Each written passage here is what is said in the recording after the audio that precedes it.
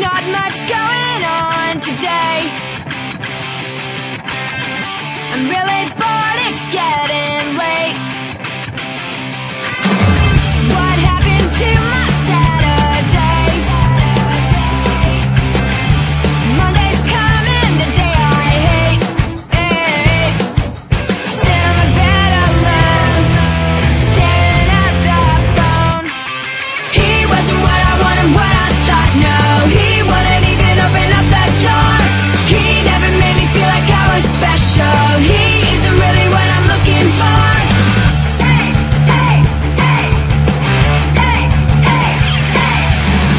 This is when I start to bite my nails.